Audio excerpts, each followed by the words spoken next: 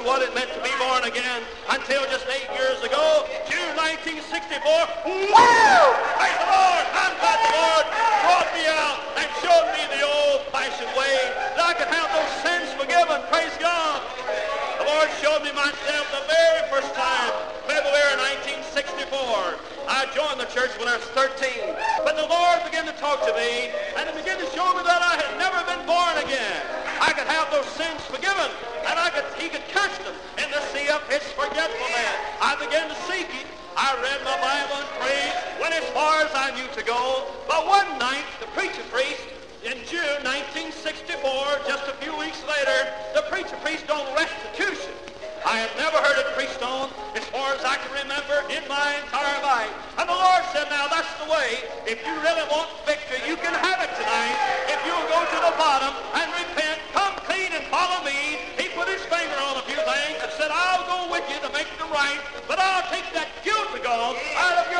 tonight if you'll just repent now and come clean with. Glory! The Lord set me free that very night in a moment of time when I said yes to him and when I said, Lord, you can have me now. Praise God. Thank the Lord. Six months later, he gloriously sanctified me in a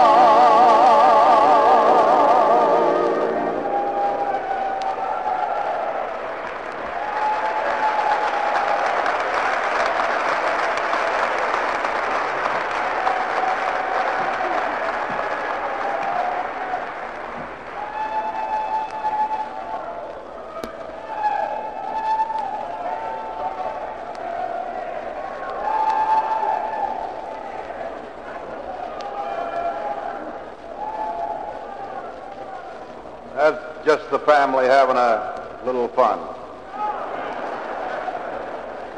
It's a great family. It's a great family. Great crowd. Happy in the Lord. I like the whole outfit, don't you? Everybody in the family.